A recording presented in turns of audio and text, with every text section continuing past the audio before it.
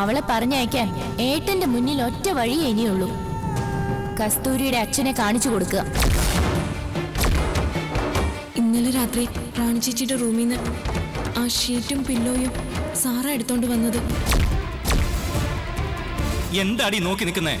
നുണ പറഞ്ഞ് ഞങ്ങളെ തമ്മി തെളിച്ചിട്ട് നിനക്ക് എന്താടി നേട്ടം? നീലക്കുയിൽ ഇന്ന് രാത്രി ഏഴ് മുപ്പതിന് ഏഷ്യാനെറ്റിലും പിന്നെ എപ്പോഴും ഹോട്ട്സ്റ്റാറിലും.